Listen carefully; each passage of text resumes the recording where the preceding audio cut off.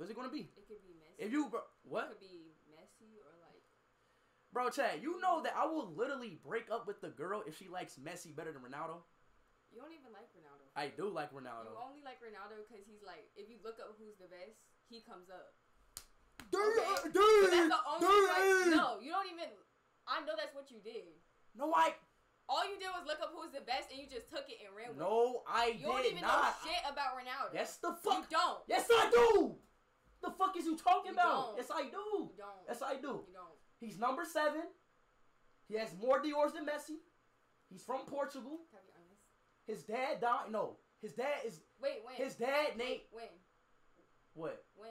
When did his dad die? When did I ask? Yo, bro. Yo, yo, bro. I'm. I'm sorry. You know what? Nah, I'm hell nah. Don't touch me, bro. Please, saying. don't touch We me. have a